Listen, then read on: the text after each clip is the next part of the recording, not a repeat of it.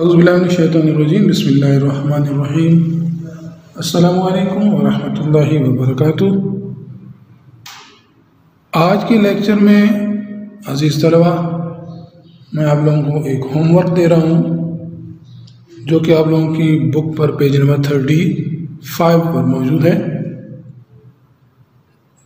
Page number thirty five पर एक activity है, जिसमें आप लोगों ने सेंटेंसेस को कंप्लीट करना होगा सुटेबल वर्ड्स के साथ। एक्टिविटी क्या है? Complete the sentences by putting in the suitable words complete the sentences by putting in the suitable words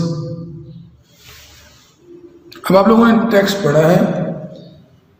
सारा यूनिट आप लोगों ने पढ़ा है। उसमें आप लोगों को रिकॉल करना होगा। ये सारे सेंटेंस आप लोगों के इसी यूनिट से लिए गए हैं। तो आप लोगों ने क्या करना है? इसको दोबारा से पढ़ के इन सेंटेंसेस को कंप्लीट करना होगा। सेंटेंस नंबर वन है, इसमें ब्लैंक्स दिए गए हैं, खाली जगह दी गई हैं।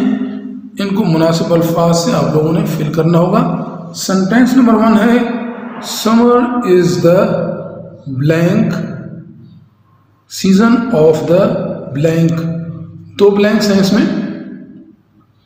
एक दरमियान में, एक लास्ट में। तो सब, इसमें आप लोगों ने सोच समझकर इसको कंप्लीट करना होगा। समर के बारे में आप लोगों ने पढ़ा है। उसी के बारे में ये सेंटेंस है। समर सीज़न के बारे में। सेंटेंस क्या है? Summer is the blank season of the blank summer कौन सा सीज़न है? साल का। वो आप लोगों ने इसमें थोड़ा सा गौर से पढ़कर इसको कंप्लीट करना होगा। नंबर टू है in summer the days are blank and nights are blank इसमें भी दो ब्लैंक्स हैं। हर सेंटेंस में दो ब्लैंक्स हैं। इसमें भी आप लोगों ने देखना होगा कि समर में जो डेज़ और नाइट्स के बारे में आप लोगों ने पढ़ा है कि वो किस किस्म की होती हैं, वो आप लोगों ने इसमें लिखना होगा।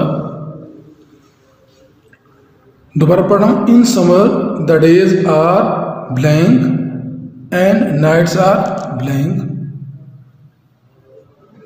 Sentence number 3 है, winter is the blank season of the blank. Winter के बारे में भी आप लोगों ने पढ़ा है, ये कैसा सीज़न है? ठीक है, उसके बारे में आप लोगों ने यहाँ पर फिल इन द ब्लैंक्स करना होगा। Winter is the blank season of the blank आप लोग समझ गए होंगे, उम्मीद है। इसको फिल कर लेंगे आप लोग। नंबर फोर सेंटेंस है spring is called the blank of all seasons spring is called the blank of all seasons ये भी आप लोगों ने पढ़ा है तो इसको भी फिल कर लेंगे आप लोग। आसानी से। Number five in autumn leaves, blank, and change their blank. अब इसको भी आप लोग गौर से पढ़ेंगे तो आपको याद आ जाएगा कि आटम के बारे में आप लोगों ने क्या पढ़ा है, कि लीव्स क्या होते हैं और क्या करते हैं। तो ये आप लोग खुद फिल कर सकते हैं। ये है आप लोगों की होमवर्क एक्टिविटी इसको आप लोग बुक पर ही कंप्लीट करेंगे। पेज नंबर थर्टी फाइव पर ये एक्टिविटी मौजूद है। इसको हल करने के लिए एक मरतबा आप लोगों ने अपने यूनिट को एक मरतबा रीडिंग कर लेनी है। इन आप लोग आसानी से इसको हल कर सकेंगे। अपना ख्याल रखें। अल्लाह हाफिज़।